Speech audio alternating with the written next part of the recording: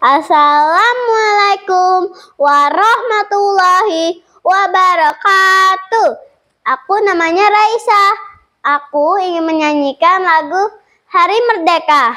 17 Agustus tahun 45 Itulah hari kemerdekaan kita Hari merdeka Hari lahirnya bangsa Indonesia. Merdeka. Sekali merdeka tetap merdeka. Selama hayat masih di kandung badan. Kita tetap setia, tetap sedia mempertahankan Indonesia.